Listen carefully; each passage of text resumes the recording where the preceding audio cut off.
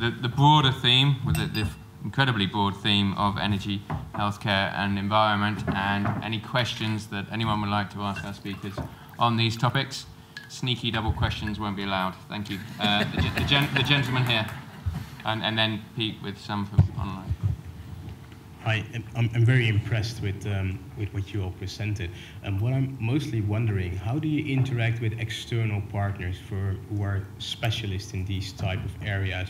Um, how do you make sure that you acquire information and look at the innovation that's happening outside and try to integrate that into the um, MSF framework and MSF operations, to say so? Is that a question to anyone in particular? Uh, no, to the whole panel. Any volunteers?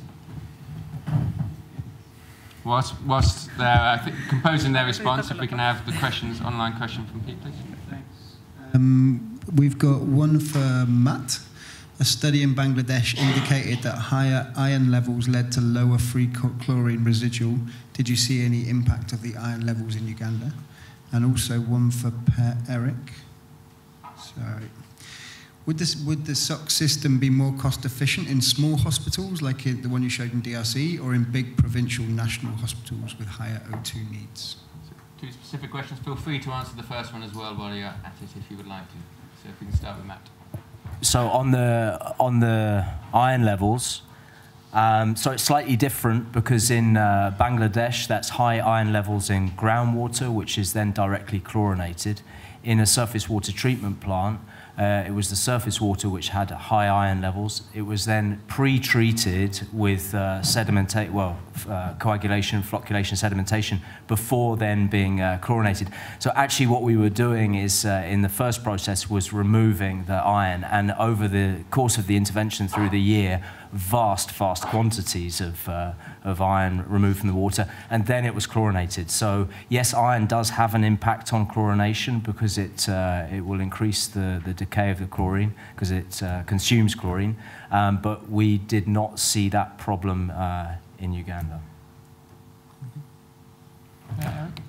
Right. Uh, I can say a little on external partner interaction to start with. Um, for the solar power installation in Shamwana, we were luckily we'll, we had most of that uh, expertise already, although we haven't used it much in the organization. So, so that worked out well. For the SOX project, uh, that became very obvious that we, I mean, that's nothing we can develop ourselves or should develop in ourselves in the organization. So we really need that kind of external partnerships to get that forward. And maybe we can be the force to start things, to provide a testing ground, and then uh, assure that the product will eventually come back from, from our external partners. Uh, whether where this would be most cost efficient, the oxygen production, I don't think there is a tremendous difference really. You know, in a way, if you compare to uh, diesel generator running uh, oxygen concentrators, um, the highest costs we would probably get in a small facility where this is a large proportion of the energy consumption. Uh, then the, the liters per cubic meter of oxygen uh, would, would be higher and the cost efficiency a little bit better maybe. Uh, but I think it would be equally applicable for, for a larger facility. And especially if you could go, if we eventually could go for the high pressure uh, solutions, it would also be more, um, increase the availability through uh, the bottled oxygen. Thank you. More questions, please. one here. Can we get any other questions so we can get the mic in the right place, please? Put your hand up if you have a question. And get the mic back there, please. Thank you. Uh, hi. So um, Michael is working with WatSan for OCB. Um, I guess it's it's a bit of a wide question, but maybe maybe a bit more for Matt. So um, it's it's very refreshing to see that finally OCB, uh, so MSF is going into um, less traditional uh, health risks when it comes to water. Uh, my question is, so I've seen around a lot of um, paranoia, let's say, as to um, added things into water. And I've seen it specifically also with chlorine. I've seen people quoting uh, studies on trihalomethanes even when we chlorinate groundwater. so I assume you, mu- you must have um, had some sort of health promotion campaign to go together with your handover process to the Red Cross. Um, could you share a bit if you had such challenges yourself and how do you address them? And while you're composing your answer, if we can take a question from the gentleman. Yeah, Erwan Piriou, I'm a laboratory advisor with uh, MSF OCA. My question is for Maria. So, besides looking outside for, for getting knowledge and understanding possibilities that are there, are we looking enough into what others are doing and are we are there opportunities to have other people provide energy? I mean, I'm thinking my last visit to South Kivu, some Italian NGO was putting I don't know 100 square meters of solar panels on the on a hospital in Uvira uh, as a as a standalone thing. And are there more opportunities like that to be done? Because it sounds like the initial investment is scaring people off. I'm, I'm struggling Okay. with that myself in, in projects where we don't have AC and everything breaks down all the time because of that. Thank you. So- So Matt first, then Maria. If you can put your hand up if you have a question, please. We'll get you the mic. Okay, yeah, no, it's uh, a, a very good point, and uh, there's a few things there in relation to that intervention. Um, the first thing i- i- is an obvious one and relates to all interventions. I mean, the risk, the health risk uh, from not chlorinating water, and particularly uh, surface water, is uh, much, much higher. Um, and certainly in the immediate uh, term, and that's why I make reference to uh, you know the quantity and uh, and the nature of the emergency.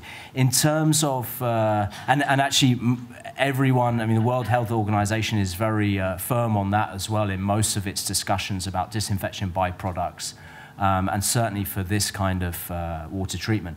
In terms of the acceptance and uh, the community in that settlement, that was a very interesting one because there was another actor who will remain nameless who was trying to distribute water from a groundwater source which was not chlorinated. Uh, the population actually initially refused uh, this water. They liked uh, the water that came from the plant. They were used to the chlorine levels. And actually, to be honest, in the end, what we attributed that to was the fact that when we were monitoring in the camp in the very initial stages of the emergency, we and uh, the staff with us were drinking the water from the tap stand. So the perception of the population and the acceptance uh, was, was, very, uh, was very good. Um, and actually, the impetus for looking into this issue did come uh, from an allegation of uh, overchlorination from UNHCR. We had the data to prove that we were compliant with their very own uh, standards. Um, and then on top of that, I wanted to look into this uh, issue as well. It was not something. I agree. People bring it up sometimes. They don't. Quite often, people don't really know what they're what, what they're talking about, but uh, they can find some reference to uh, to, to to a study, etc. And all I can say at the end is it does get fantastically complicated. That is for sure. But uh, I still think it's an important thing to consider. Thank you. Maria, would you like to respond? Um, yes, um, yes, when we, of course, when we have to decide, decide uh, what gener- which energy solution uh, we are going to we are going to provide, of course, we need to look around. No, what uh, what are the possibilities that we have, even if it's uh, city power, even if it's what others are, are doing. I wouldn't say that much, maybe to provide energy supply from other organizations because uh, we are quite uh, tricky or strict in, uh, in the quality of the energy that we receive. But maybe, for example, for the maintenance strategies or for the handover process, no, uh, there are a lot of NGOs, development NGOs, that are working a lot on rural electrification, on energy access, etc. For example, there is a in refugee camps right now. There is a, a, a movement uh, quite. Uh, big right now in energy movement that are providing energy solutions. So maybe they are the ones who can help us in, in, in trainings, in materials, in, in all this uh, part that we are not so good at it, but we need it in order to, in order to, to give some sustainability to our, to our energy settings, especially when we do the handover process. No? So, Thank you. Please.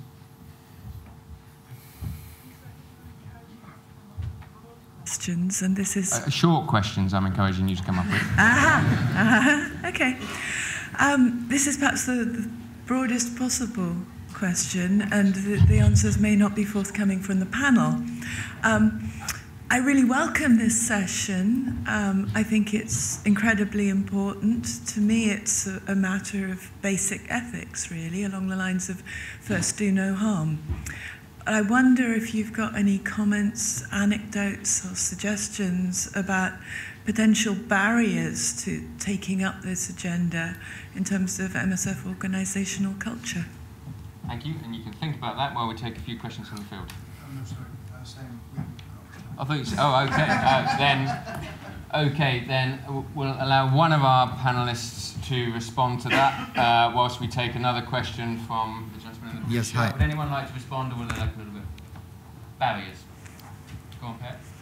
There are huge barriers in perception of what we should work with, whether this is in, in line with the emergency organization and, and all of that. But I think we got a little bit of way yesterday with the session uh, in actually concluding that yes, we have to work with the uh, consequences of of, of uh, global warming, but we cannot forget the mitigation. We must be better at working also with that.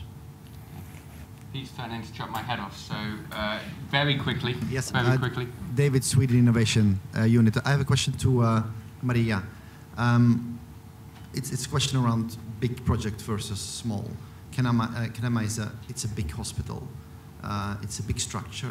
Um, is there an interest from MSF to also look at the so many more smaller structures that we have in terms of uh, uh, energy? So all the small OPDs, and uh, is there an interest to look? Because I, I can imagine it's a bit of a testing project also, Kenema, how we can do it for big hospitals. Thank you.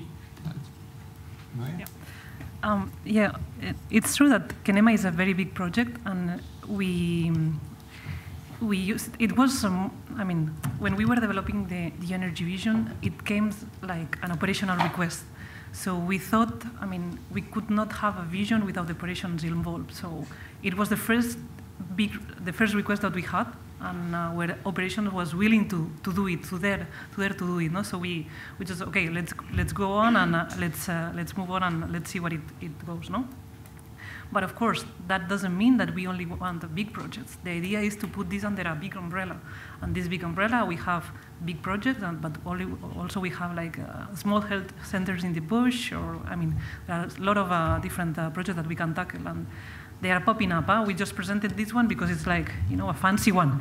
But, but there are others that are coming up, and, and of course, the idea would be to, to see the differences.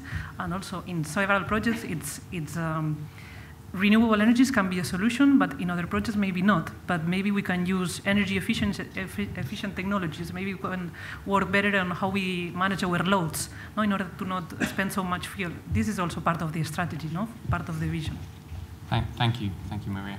So it, it, falls to me to feedback in, in two minutes, which uh, I, I, will try and do. I'm delighted that this topic is, is here on the agenda and being discussed, and I thank our presenters for their uh, stimulating presentations. I, I, note three things about the, the, the presentations. All three are considering the consequences of our actions and what we can do better. All three are considering what happens when we leave and all three are field-led.